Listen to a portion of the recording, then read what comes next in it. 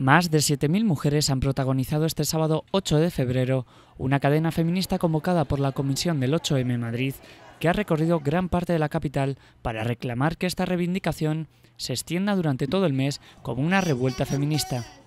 Queríamos contaros que esto es una cadena feminista con la que vamos a inaugurar un mes de revuelta feminista desde ahora hasta el 8 de marzo. Hemos convocado y se han organizado más de 7.000 mujeres que pertenecen a 300 asambleas de la Comunidad de Madrid, de los barrios y de los pueblos, y también nos acompañan compañeras de otras provincias y de otros territorios. Ana, portavoz de la Asamblea Feminista de Tres Cantos, ha subrayado la necesidad de ir más allá del 8M. Eh, estamos aquí para visibilizar toda la lucha feminista, que es amplia, es diversa, es eh,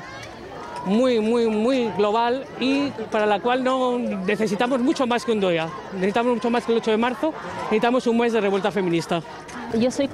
Las participantes han acudido a esta movilización con ropa y paraguas morados y se han organizado en diferentes tramos temáticos dedicados a las reivindicaciones por el derecho a la vivienda, contra la precariedad laboral, por los cuidados y por la educación feminista. Esta acción ha marcado el inicio de un mes de revuelta feminista en el que se sucederán actividades descentralizadas y en torno a diferentes ejes temáticos bajo el lema Con derechos y barreras, feministas sin fronteras.